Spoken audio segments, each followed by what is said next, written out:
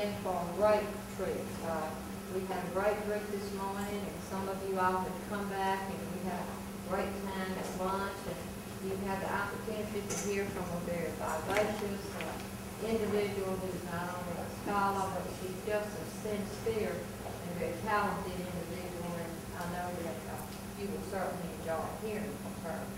Uh, Stephen Canetto is a coordinator of this project, and we're going to hear from him uh, as to some of the details, and we will hear them from Myrna Colley. Thank you, Ms. Bell. Um, I would like to tell you a little bit about the exhibit. Uh, Some of you have heard this field before, so you just have to bear with me. Um, But we have an exhibit, it's called the Myrna Colley Lee exhibit, and it's actually three exhibits that we have on display. First of all, we have the Mississippi Museum of Art's uh, exhibit of Myrna's work. It's called Glad Rags, Swatches, Sketches, and Costume Design. You got it? Very well. Uh, and that's what you're seeing around the room here. The collection actually, the exhibit actually starts here in this corner, wraps around this column, and goes uh, back down this um, side of easels here, and then around the room.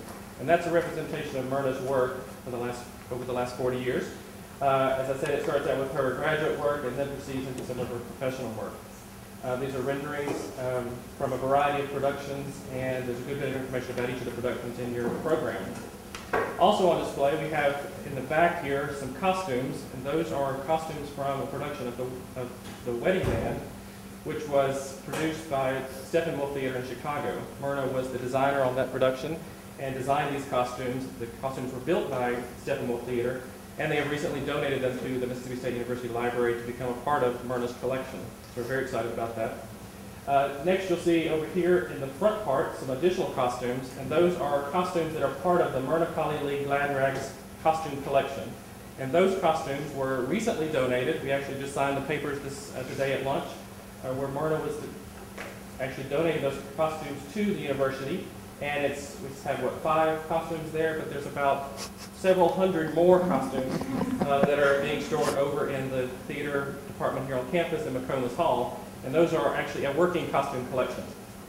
We're very excited about that, having that, uh, uh, that additional donation uh, by Myrna. And these costumes will not only be used by um, here on campus, but also will be loaned out to other theaters around the state. So we're very excited about that. And Myrna said when she donated that she wanted it to be, it was a working co- costume collection, and she wanted it to continue to be a working costume collection. So we are uh, going to honor that request.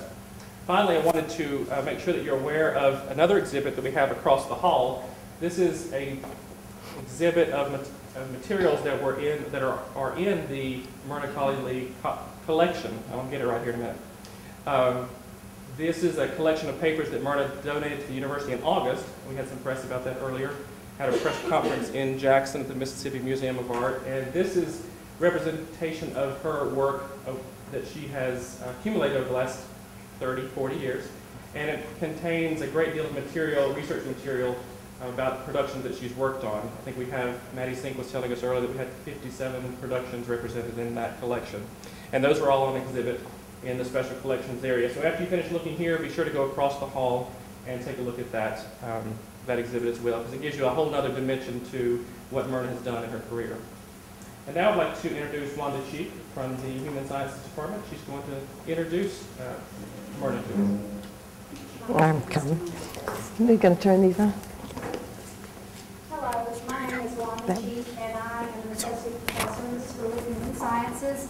And before I introduce our esteemed speaker and guest of honor today, I would like to give her some idea about who is in our audience. We certainly have a number of students here from several departments on campus, as we did this morning, and uh, people from the community. So let's just stand up here just a moment. If you are here representing the theater department, the community theater in Starkville, students of theater in the, uh, um, excuse me, is it Department of Communications here at Mississippi State? Would you please stand just a moment so we can get a feel for the audience here? Thank you. The Dr. John Ford, who is the um, department chair there. Okay, if you are in uh, fine arts or arts here at Mississippi State University, would you stand, please? We have some more art students here. And then if you are from apparel, textiles, and merchandising, which is my home area, would you please stand? Oh, well. I have great influence. Dr. Miller and I have great influence over these students, trust me. Um, I, I want to make an introduction that's um, probably longer than she wants, but I think it's important to you, for you to understand where this lady comes from, what she's been doing, and for our students here to see what her career path has been all about. She basically made her way in an area, as you will soon hear from the questions that you ask, uh, into the theater world. Um, and it came about in a very unusual way. So that's question number one for the audience. How did you get into this area? Okay, because it's a very interesting uh, career path. Uh, but I wanted to tell you something about her life, and uh, just bear with me a moment because I think all of this is very important. First of all, Myrna Colley Lee is a, um, a native of North Carolina. She didn't spend her whole time there, but she is from that area. She received her MFA degree in uh, scenic and costume design from Temple University. And she also studied scene painting and properties at Brooklyn College, and she completed a, a Bachelor of Fine Arts in Art Education from what is now the University of North uh, Carolina at Greensboro.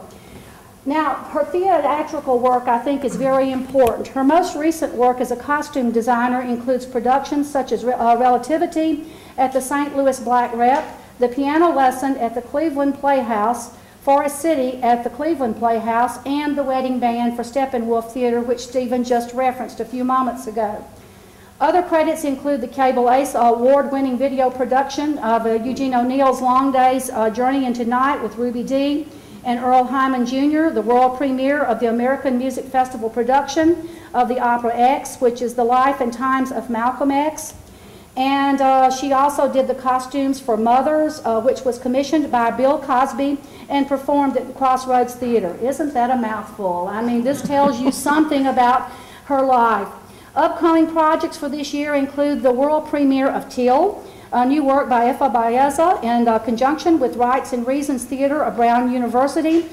And as you see now, her glad rags, uh, sketches, swatches, and costume designs by Myrna Colley Lee. That's what we're seeing here today. She's going to soon be involved with an independent film, or probably already is, with an independent film called The Reprieve. Am I doing okay on this? Fine. Okay. Um, she has, in addition to being a costume designer for the theater, she has been a costume designer, art director, and set director, or designer rather, for film and television production. She has faculty, um, has held faculty and staff positions with Smith College, the Kennedy uh, Center's uh, American College Theater Festival, and also at the Design and Management Institute of the National Arts Consortia in uh, New York. Now, a very important thing about her is not only has she had a professional life, but this is a mark to me of a very strong woman who um, sees her obligation to the civic duties calling upon her. And she's going to talk us some about that if you'll just ask her the question. But she serves as, a, I know I've heard these wonderful things already this morning. Myrna serves as, the commissioner, as a commissioner for the Mississippi Arts Commission, is on the board uh, for the Charleston Arts Revitalization Effort, the Rock River Foundation, uh, the Mississippi State University Department of Art, and the Gertrude C. Ford Center for Performing Arts, which is on the University of uh, Mississippi's campus. Um, she also serves on the Acquisitions Committee of the Mississippi Museum of Art and on the Steering Committee of the Charleston Arts Center. She has so she has such a broad perspective to bring to you today. I want to close out by stating, though, that she and her husband reside on, on their farm some of the time in Charleston, Mississippi. Uh, my hope for you today is that you will gain insight into how she has blended so much of what we study. It's the culture, it's the region, it's the mores, it's the historic costume, it's the theater, it's all these things that we bring together into a melting pot to produce the career that you've been into. Thank you, Verna. Lee. Thank you.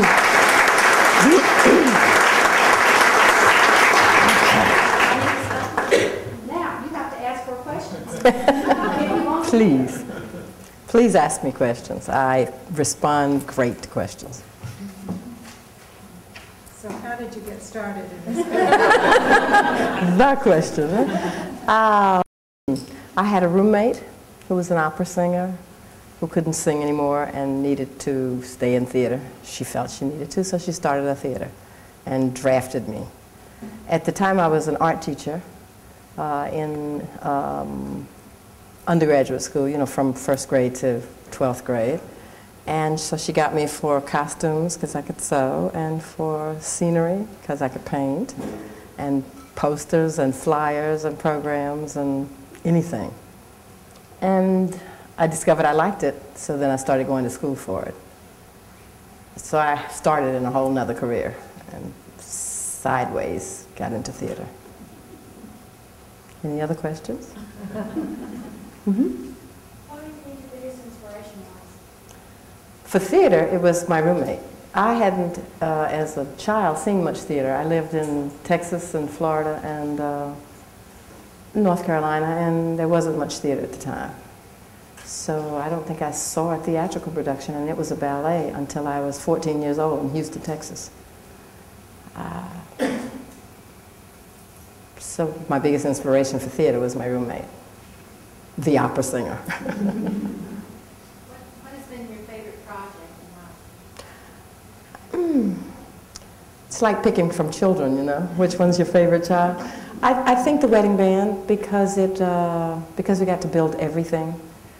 It was 1917, 1918, and you don't find many items of clothing that are big enough. First of all, for for people now, people were so tiny then, and uh, that would be strong enough to be in a play. So we had to build everything, including the men's costumes. Everything but a World War I uniform. We managed to get that from, I think that was made for, you know, the enactment groups that uh, they have costumes that you can get. Anyone else? Hmm? I'm not quite sure how to frame this. When you design, are you designing from text or the relationship between text and time of the original production of a show such as, say, uh, Taming the Shrew moment? Mhm. I, I saw um, this earlier when they were setting this up uh, a couple of weeks ago, and I was really, really struck by, by those, I I like Shakespeare very much. I Mhm. was really astounded by how wonderfully they captured not only the text of the play, but also the period in the late sixteenth century. So tell us a little bit about history and, and people that, that you designed with and for, that Okay, you are inspired primarily by the, by the words, the play, the text.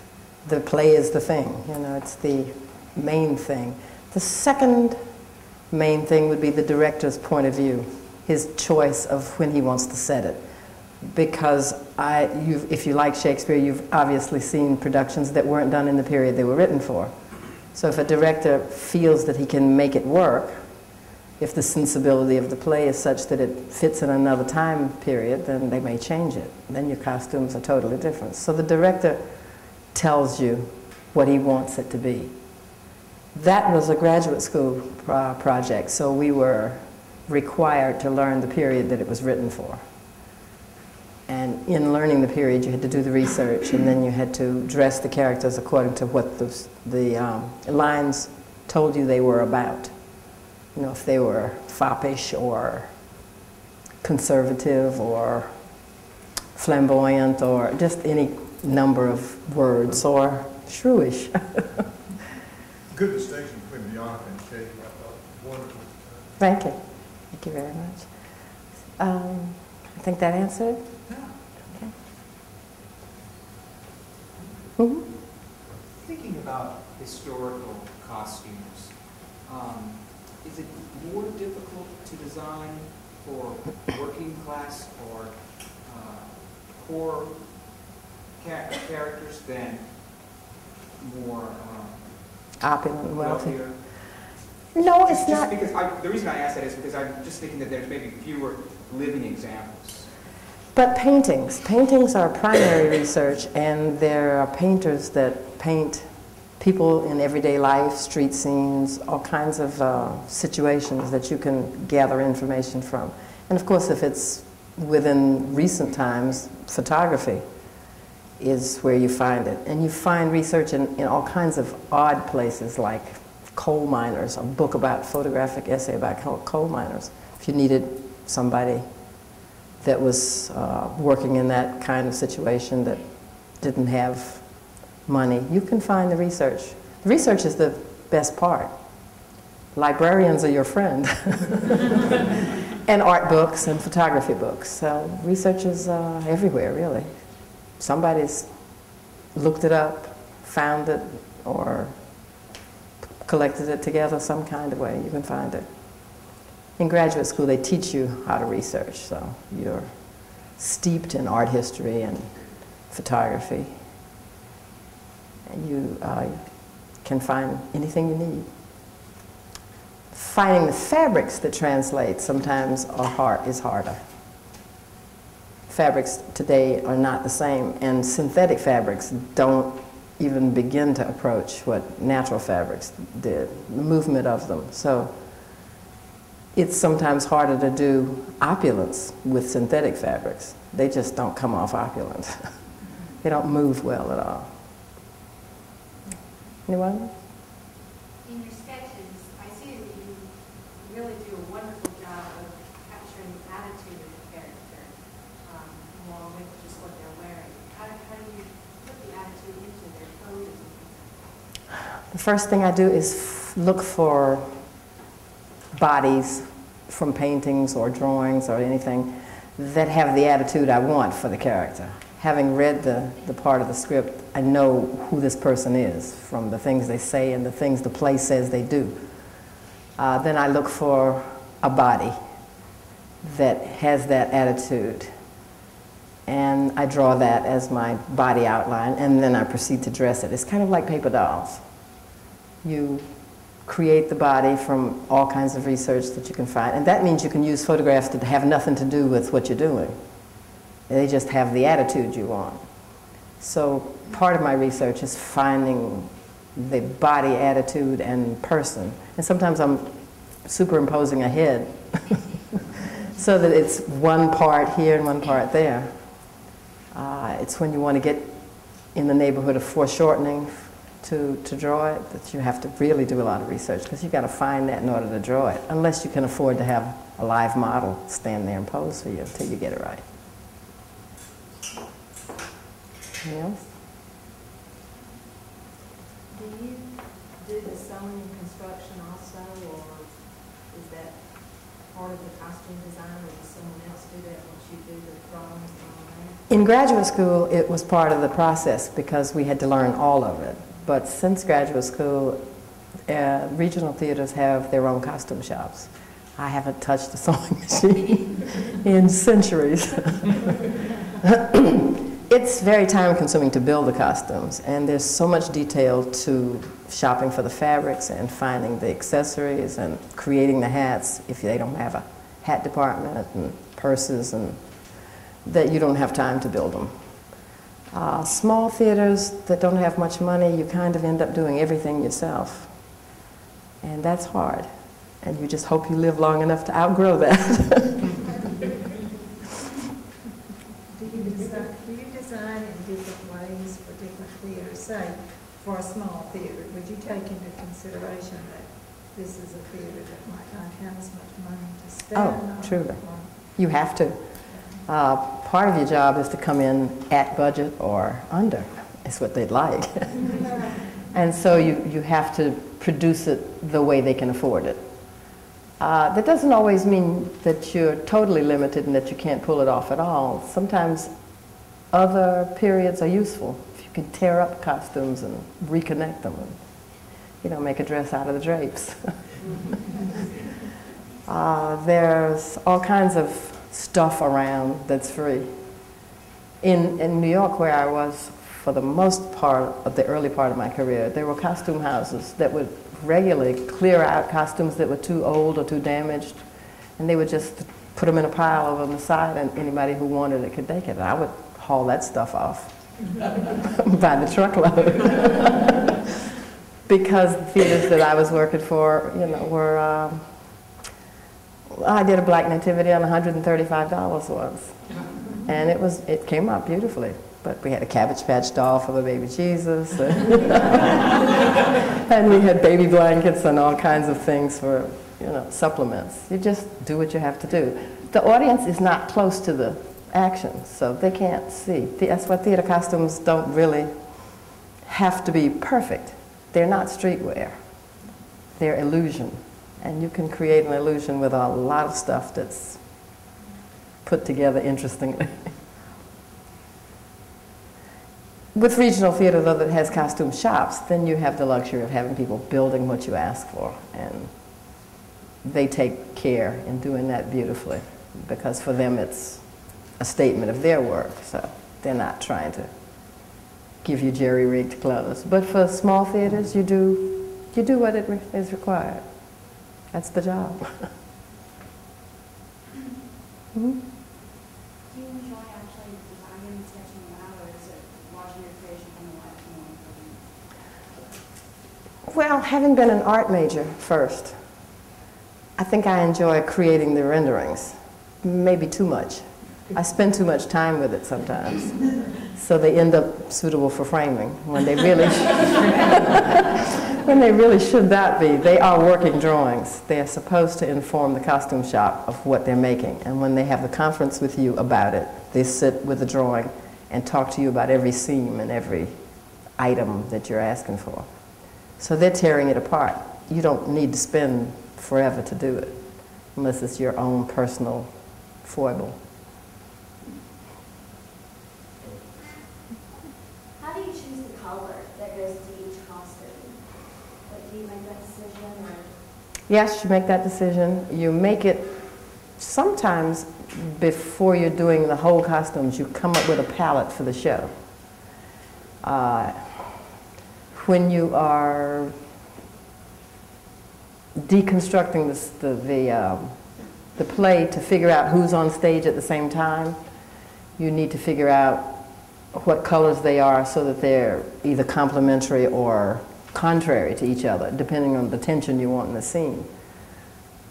And so you don't end up with two people in the same thing, or two people the same color as the set, or any of the really horrible things that could happen. so you are in control of that all the time. So you make a palette sketch. Somehow I seem to be able to do that in my mind. But I've seen people make palette sketches that is just a piece of paper and each person will have a, a name and then colors. That's their color range. And they'll play around with that first and then start the rendering so that they've got a range of it. I suppose it depends on what part of your artistic vision you develop most. I think color is probably one of the easiest things for me to deal with. Color and texture. There was a question further back than the first walkthrough row. Guess so. I want to know, what was your, what's your favorite part about creating costumes? What do you enjoy the? The rendering. I like rendering. I design while I'm rendering. It's a lot of erasing.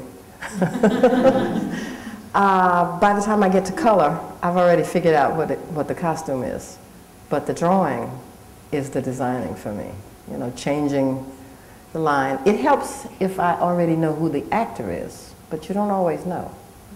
Sometimes they're hiring people two days before it starts, and so you are not designing for that particular person, you're just designing for the character. Sometimes I can make the drawing look like the person if they've sent me a headshot early.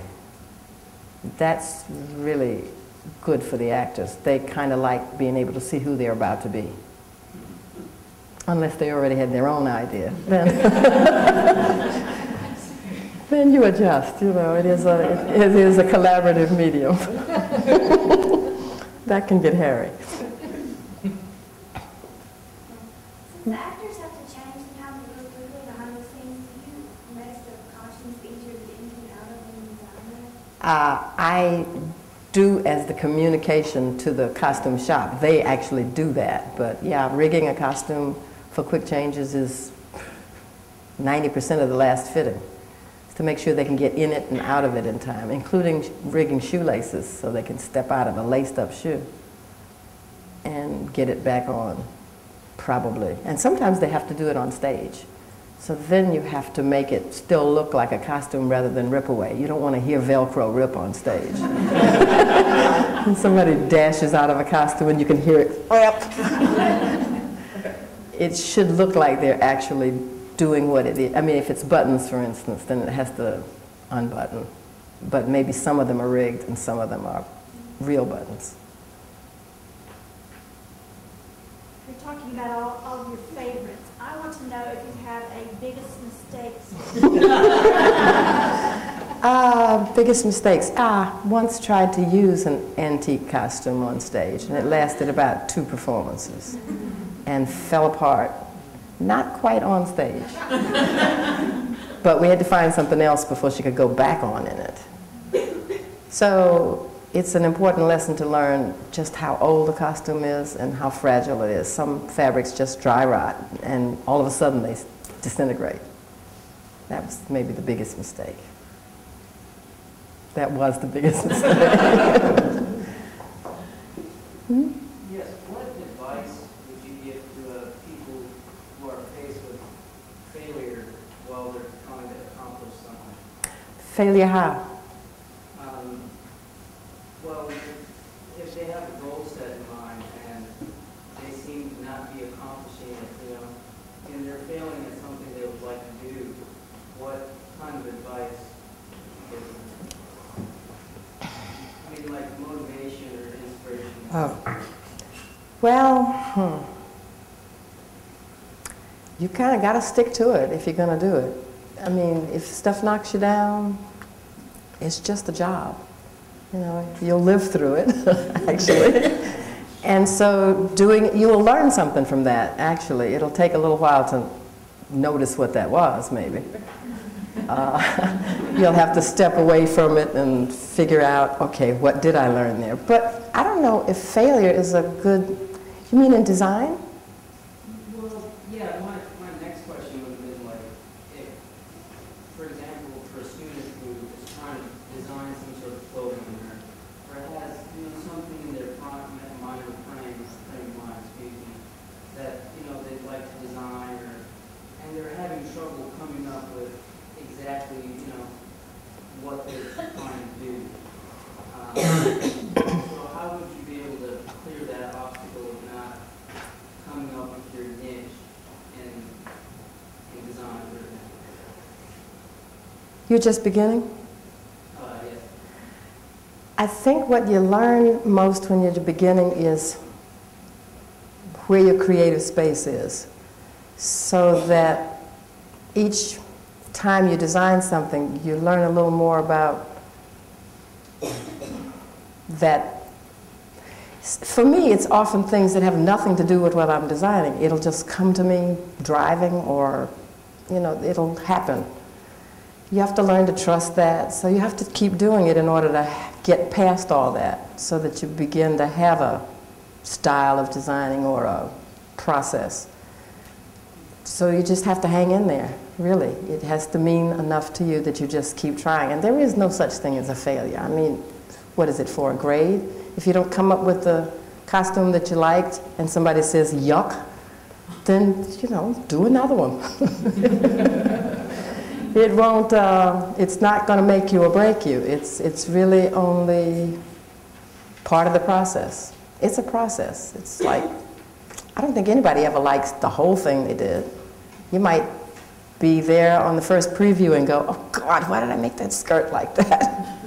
As they're walking across the stage, and there's nothing you can do about it. so you learn to like it, or, or you hate it and you never do another one. Mhm. I'm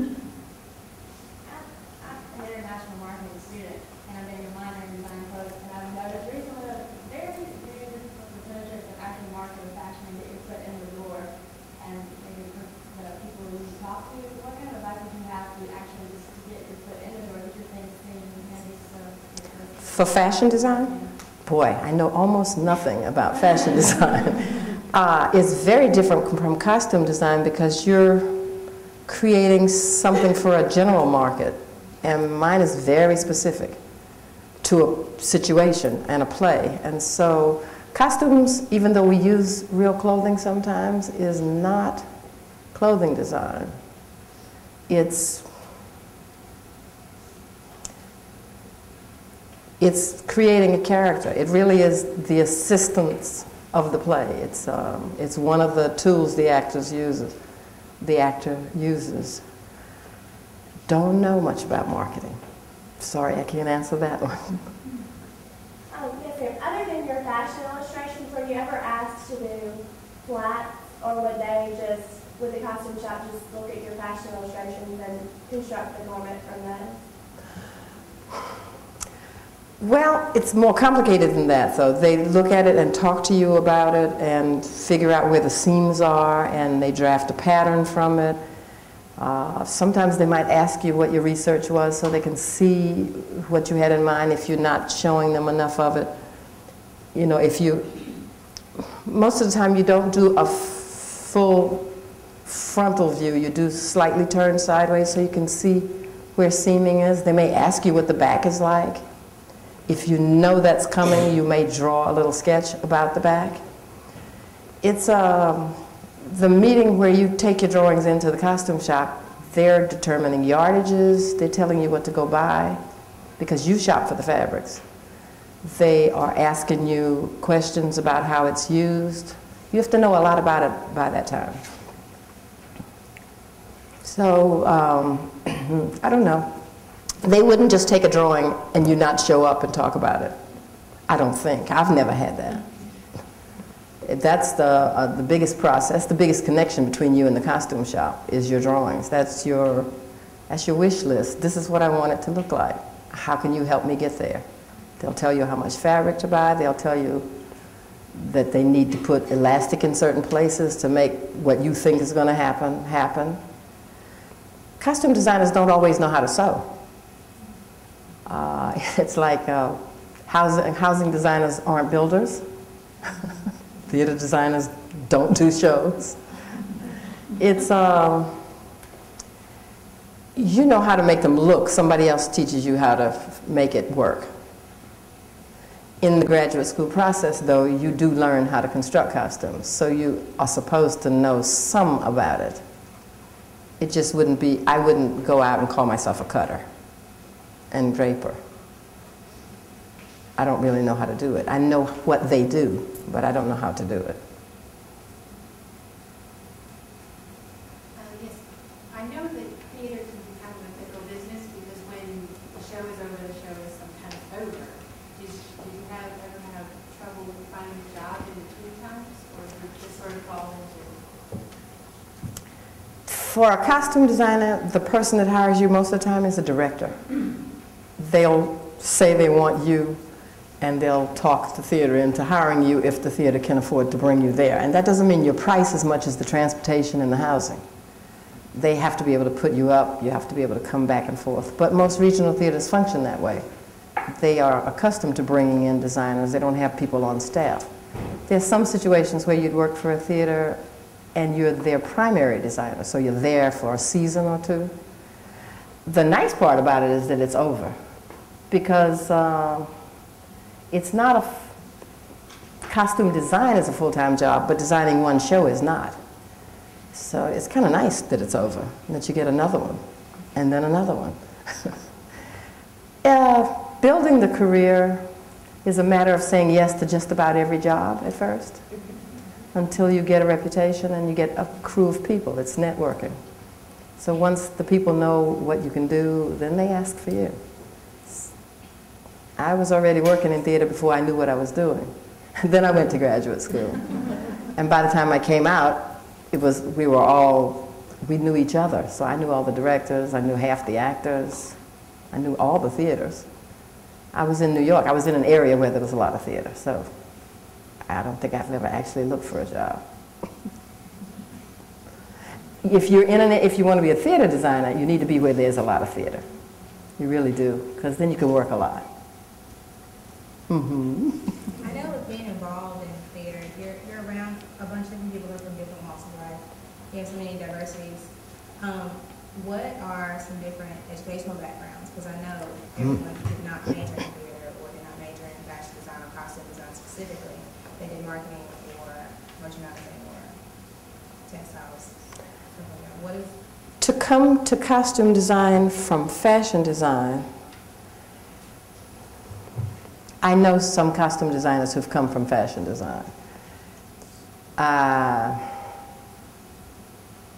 what's the question? I was, I was just trying to say what different, how many different types or what different types of educational backgrounds come together to make it so successful.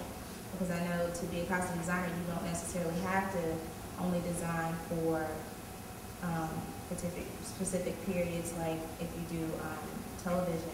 Right, then it's modern. Yes, modern. Fashion probably translates to television eas- most easily, Right. uh, and maybe videos. So if you wanted to go that direction and you wanted to do a more modern, that you can more so associate yourself with, maybe someone like myself in my age demographic, how would I network or put my foot into the door? Since it's so hard to come across contact information.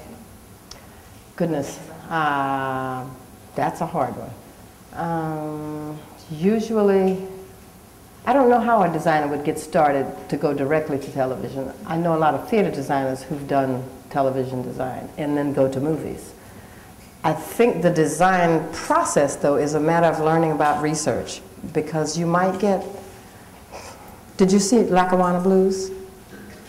Okay, it's a television, made for television movie, but it was about the 20s and 30s and 40s. Actually, it ran a, a long span. So the person who designed that, though they were designing for television, had to know period. So the, the, the process that you learn in design school is that how to research. Once you know how to research, you can design anything because it's just a matter of finding the visual information. Then you can do it. If somebody wanted to do a video and they wanted to do King Tut, they wanted to do an Egyptian dance, though it's a modern piece of music, then you'd have to be able to research the Egyptian period and translate that to something the dancers could use. So I think that the, the design part is the same. You just have to learn how to do the research and to present your ideas, collage or drawing. The finding the network, I think you have to be in a city where there's television, lots of it. Uh, those jobs, however, are union, and there are, there are exam processes that you could go through to get in the union. Um, they're covered by unions. Uh, IATSE, I believe, is a union that covers the costume designers for movies and theater. Um, they have, I'm sure they have a website. And they have all kinds of uh, postings for the times that you're allowed to take the exams. And they may even have intern programs. I should imagine they would.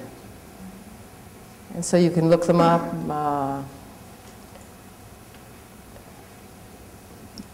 probably just visit a television studio that does live programming. The problem with most local television is that they don't do any live programming. So it's not anything they start, it's something they've brought in that somebody else has already done.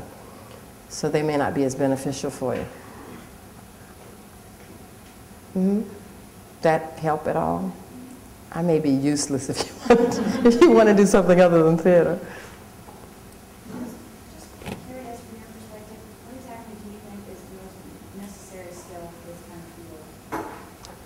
Research and rendering.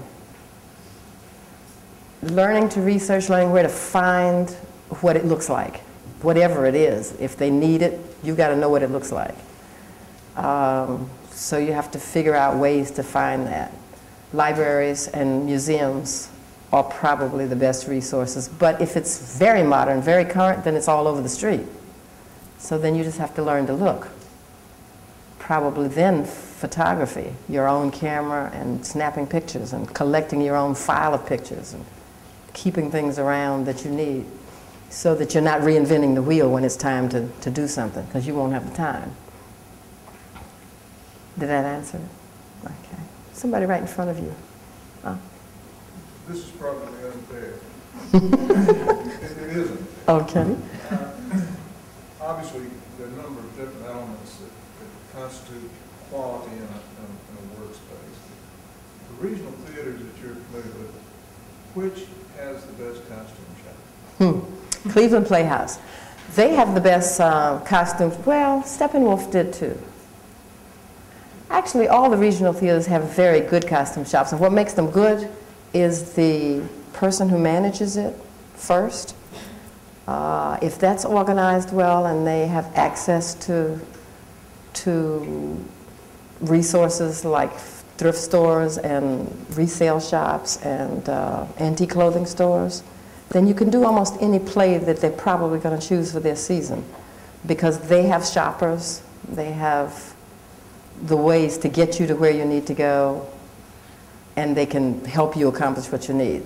They usually have the space already and their own seamstresses and tailors and special people that make, oh, for instance, if you had to do Harvey and you had to produce that rabbit, then you need somebody who can do masks well because you're not doing any of it yourself. So the shop's doing it. The reason I say Cleveland Playhouse, though, is because Cleveland Playhouse is a regional theater in a town with a ton of rich people. And they support the theater by giving their clothing to the theater when they don't use them anymore. So they have a space as big as this whole section of this building, two rows high, full of clothes that you can go shopping through when you need to dress a play. So if it's anywhere from 1912 to now, they have the clothes. That, unfortunately, was one of the dresses that fell apart. but at least we had it, and we could make another one. We could find a fabric, and they made it overnight. They made it for the next night's performance. They just got three people, they were on it, they did it, and it was over the next night. So support, you know, a, a, theater, a regional theater has a lot of support for design. It's, and they get it by having a community base that's very strong. People that march into the community and get people in the community to give them what they need, one way or the other.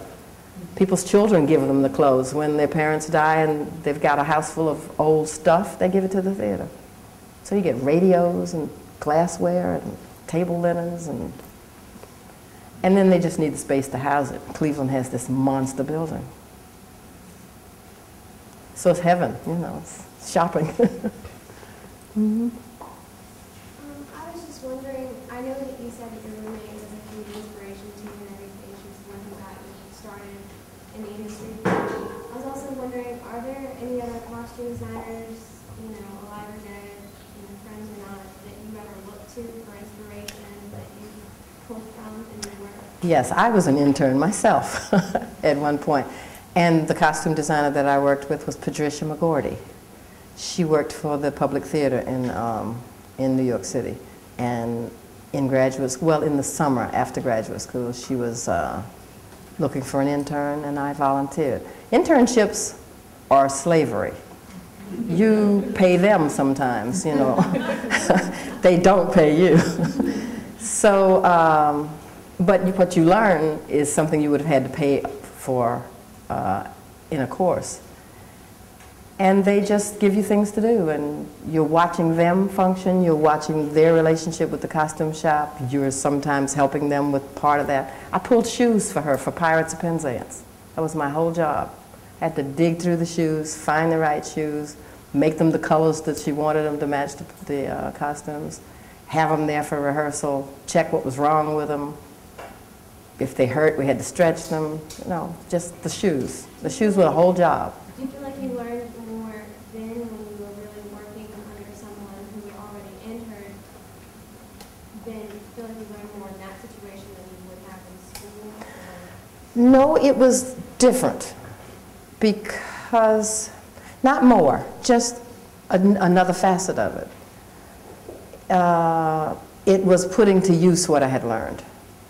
I had learned in graduate school about doing these things, but I didn't have the responsibility to do it. Once I was assigned to a person and she said, go do the shoes, I had to create the list, I had to check everybody's sizes, I had to figure out what she wanted. If she hadn't drawn it, she might tell me, you know, slip on or lace up. And then I had to give her choices, she had to pick. So it became, I became a support for her to accomplish what she had in mind um, long hours. But again, it was the public theater, so it's almost like Cleveland Playhouse. Tons of stuff. You know, just rooms and racks. Once they buy costumes, if they have to buy anything, they don't give it away. That's why I don't have many costumes from shows that I've done. The theater doesn't give them up. They own them. They use them again for something else. Mm -hmm. Have you worked on any projects that are set in the future, maybe science fiction or something like Babylon 5, where you not only have humans, but you have alien creatures and, uh, I did one at Smith College. It was uh, women as kind of future warriors. I, we had to create headgear for them because they had kind of like mohawks and they were bald on the sides. so we had to create something that would make that happen. And in a college situation, uh, it's a good way to work because you've got a lot of work workers. you know, there, there are a lot of people to accomplish what you need, and decent budgets. Yeah, those are fun. You get to try all kinds of new materials, and they want you to in school. So they want you to do vacuum form, and they want you to, to make um, puppets, and it stretches you more than some of your jobs will. You may never ever get to do some of the things you learned in graduate school again. But then somebody might come up with a little play that requires all that and has a budget of $500, and then you have to figure out how to do it real well on nothing. So it all stretches you. All of it's part of the learning process. Any way you get it is part of the learning process. Mm-hmm. Speaking of budgets was five hundred dollars. I'm just wondering if um, you were still involved with community in- in Mississippi. and What would it take? I see. I haven't done community theater in a long time um, because I'm usually working in regional theater. I developed my whole, um, hmm, my whole networking system is regional theater. It was what I intended to do. I went to graduate school at 36 years old, so I was way past starting a career. I had already had a whole career and decided to change my mind. So I knew what I wanted. I even chose some of the plays that I wanted to draw in graduate school. So sometimes they were doing plays that weren't interesting to me because I figured I would never even need it. So I would ask to substitute a play that I thought would be better in my portfolio, and they would let me. Um, and then it exposed the other students to another play at the same time they were doing one, so it kind of was a trade-off. It was good. I had to stand up and talk about what the play was, and it was mostly black theater. So they didn't know the plays. So I could acquaint them with, uh, with a play they wouldn't otherwise know, and then I would have to design it so then they would see it. So it gave them two for the price of one, and it gave me two for the price of one. And I got it for my portfolio. What would it take for me to design? well, at the moment, I, I'm working so much. I, you know, I maybe do two or three design shows a year now and I'm on a lot of boards. and I'm a commissioner for the Mississippi Arts Commission, and that's a lot of work. We meet four times a year and give away money. and the decision process behind giving away money is you think keeping up with a budget is big. Uh, I'm always interested. I, sometimes I'd like to work with young designers. If they're designing something, I could maybe give them ideas. That would be maybe better use of my time because I wouldn't be able to stay the whole time. So if you have a designer and he or she needs to talk through what they're doing and try to figure out how it works, that would work if you could get them to me or get me to them. and email is great these days. email and, and uh, photography so that they could take pictures of what they're trying to do and I could comment. I'm great at commenting. Okay. I have a question. You earlier, uh, it was announced that you were working on a new off-Broadway show. Mm-hmm. Can you tell us? It's a one-woman show called Becoming Adele. Becoming Adele. My assistant's back there. Uh, and um, it's a director that I directed, uh, that I worked with at uh, Cleveland, in Cleveland, Mississippi. At the, um, univ- what is that? Miss, what is the name of that school? Delta State, yes. At Delta State. And he asked me to come and do this one with him because I suppose he enjoyed working with me and figured I could do it. Its budget is $500. They're not even paying me a lot, but I only have to stay there for five days. They are allowing me to do it in a compressed kind of fashion. We figured out how to make that happen so that I could go, get it done, and leave. I won't even get to see it finished. But he's trusting. I'll see it in a rehearsal. I just, I don't think I'll see a uh, paid performance. But once it's set, it's set. I don't expect anything to happen. And it's one woman, three costumes. So it's not awful, you know, it wasn't undoable. Mhm. Do you ever have times when you can't figure out a character's personal style or when design feels a little too similar to something you've done in the past? Say the last part, I didn't hear you. Do you ever feel like something mirrors maybe a design you've done before? Oh, yeah. uh, that can happen. Sometimes characters are similar. Hopefully, the period's different so that you don't really turn it into the same person over again. Uh, yeah, you can get stuck. It's like writer's block. Designer block is, is just like writer's block. And sometimes you just have to go away from that one and do another one and then maybe come back to it. And you might not get it until you see the actor read it. And then the actor will inform it differently, and all of a sudden that's the one you draw that night. Come back in the next day and go, oh, this is what this was supposed to be. Inspiration comes from funny places, and it's not always, uh, well, it's almost always informed by the text, but it's not always readily apparent. You have to read the script a lot of times. Hearing a real actor give it voice and interact with the other actors helps a lot, though. Really does. That first read through has made me change a costume sometimes. Not the whole thing, but some part of it. And body type, what the actor actually looks right like, will make it very different from what you thought you saw. You know, somebody tall, skinny was what you had in mind, and the person they cast is not that at all. It's like, okay. mm-hmm. What mediums do you usually use when you're doing your renderings? Watercolor, for the most part, um, permanent or watercolor magic markers. Because you want to blend colors, so you want something that's movable. Um, It's, be alcohol-based. I have friends that use alcohol-based dyes, though. They're, uh, I guess it's what you started out with and you're comfortable with. Watercolor was what I was most comfortable with. I knew it, so I could do it fast. What you don't want to do is labor over it forever. It's just a rendering. It really shouldn't be suitable for framing.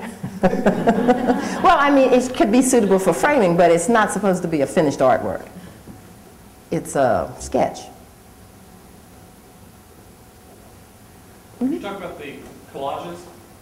Ah, collages. The collage is what I do when it's modern period and I can find it in a, in a store or in a, in a costume warehouse. It's probably from the 30s on to now, meaning that it's probably not so dry rot that it's going to fall off of them before the show is over with. And then there's no point in rendering because you're not going to find, oh, the budget has to be low enough that you're not building. So you are buying. Uh, so I put together a collage from the research.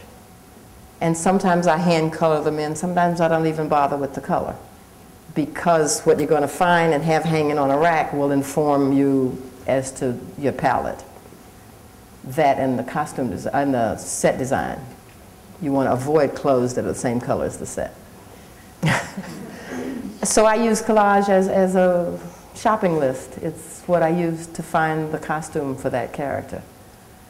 Um, scale gets interesting in, uh, in a collage because you don't always find the hat the size of the head you found. But sometimes that's a very, it makes an emotional content to the collage and you can play with the character. Especially, I have one who has a big hat, uh, not that big a head, and he was an egomaniac. It was just the perfect thing for the character. it just said it, you know, you looked at it and you know, oh, guy's got a big head. and he's full of himself. Uh, collage process is fun, because collaging is uh, playing with scale and uh, some givens, but you can play with the givens. The Xerox machine or a copier is your friend when you, when you do that collage. Because then you can take the research, reduce it, enlarge it, cut it up, use parts of it, move it around, color in it. It's another rendering process. Medea myth looks like it has some cut, some ties in it. Stephen knows too much about my exhibit. um, that was a college production of Medea myth. And it was about Medea, the ancient uh, high priestess who murdered her children.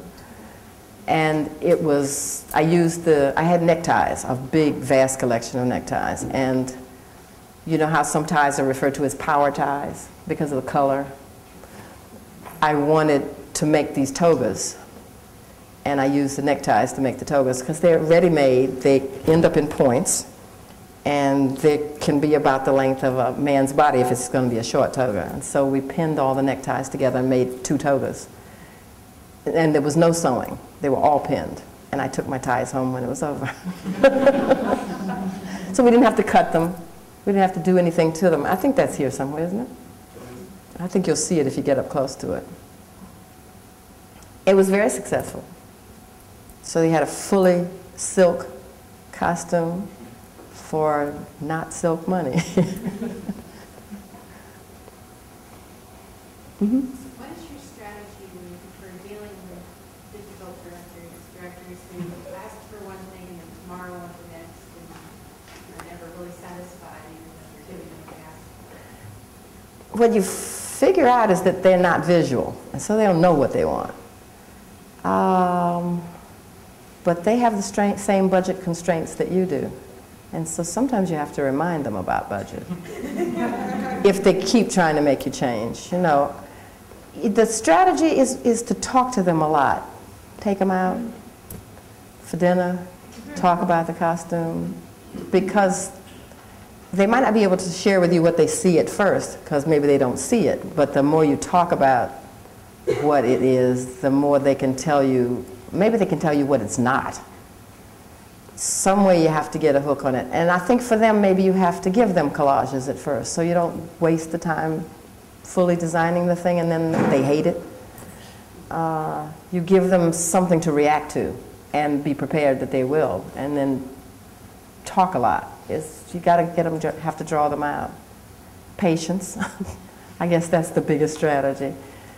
And trying to get to know them. It's a new director that you've never worked with before? Um, No, actually, I had one that every time you would ask me to draw on something, you would tell me, that's exactly what I asked for, but that's not what I want. Three, four, five, nine, ten. That sounds like power play. I don't know. That's um, that's uh, it- it's hard. You just have to keep trying to draw them out. Have you got time for all that? No, we really didn't. Hmm. Sometimes you have to just tell them. You know, you got to give me more information. I can't give you what you want. You know, make sure you let them know you're trying to give them what they want. Psychologically, that's a friendship base. I mean, that's you know that comes from a friendly place. Sometimes you have to put your foot down. because there's just so much time you can give the design process before you have to commit to, to making the costume. So after a while, they have to let go of that. If they can't communicate and they can't get you, it sounds like he doesn't know what he wants until he sees it. And then he knows what he doesn't want. Yeah, that's hard. Hope you don't work for that one anymore. right. That's, that's one of the things you learn, who not to work with.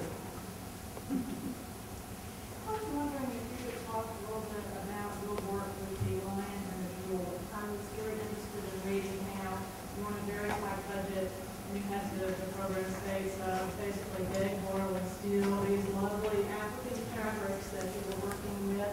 If you could talk a little bit about who were the folks you were interacting with to borrow these fabrics from, and you said you didn't want to cut them because they weren't yours, and how did the fact that you were borrowing them ha- affect your design process? I had drawn it in graduate school without considering what the fabrics would be. So I knew what I wanted everybody to look like. And then I needed to just accomplish it. So I had lots of friends. It was a very Afrocentric time. People had pieces of fabric, a lot, that they just kept around. They draped it over tables, they wore it as shawls, they tied it around themselves in uh, African dress. So I knew who had the fabric. I'd seen it. So, and they were friends.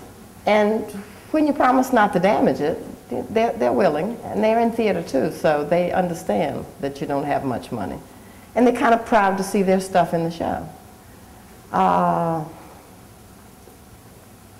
I've even had a director to loan a costume. Uh, in Relativity, the director loaned the costume for one of the men characters because he owned it and I couldn't find it. And he said, Well, I have it. And he's about my size. He happened not to be. He happened to be smaller, and I had to take a pleat in the shoulders. But you just baste it. You don't sew it for real. Um, didn't cut anything.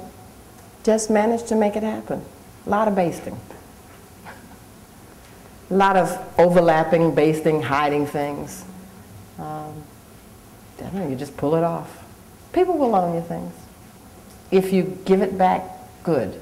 Don't hurt the stuff, because you'll never get it again. And they'll never finish talking about you. Mhm.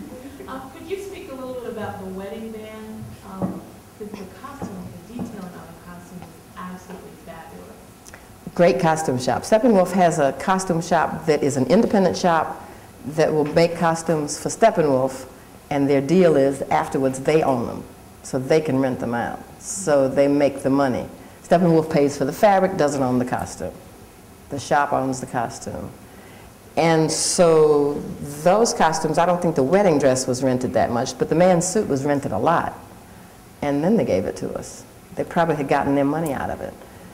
They had a shop with um, a shopper, three cutter drapers, a costume shop foreman person that ran it, a tailor, um, a shoe person, a hat person, and a person that was in charge of the jewelry. So it was like shopping. You know, once I showed them the costumes, the shopper took me out. We bought the fabrics. They had all the the, uh, the yardages that I needed. She had size measurements. We just went to fabric stores and found the fabric. The budget was high. It was a seven thousand dollar budget. So it was easy to do. You know, it wasn't a hard thing to do. And in Chicago, the fabrics are there. There are lots of uh, fabric stores that have natural fibers and laces and all kinds of good stuff. Uh, we didn't use any polyester. no synthetic fabrics, actually. Um, lots of support. It was a joy to work there. Different than Cleveland Playhouse. Cleveland Playhouse didn't have quite that many people, but now Cleveland Playhouse had a lady who would dye things. Her whole job was just dyeing fabrics, shoes, leather, anything. So she could make it the color you wanted if you couldn't find the fabric. and she could make a shoe match anything. And they've been doing it all, you know, they- they're attached, it's their jobs forever. They don't give up those jobs. If they have a, a theater that uh, can pay them, they work there, they're loyal.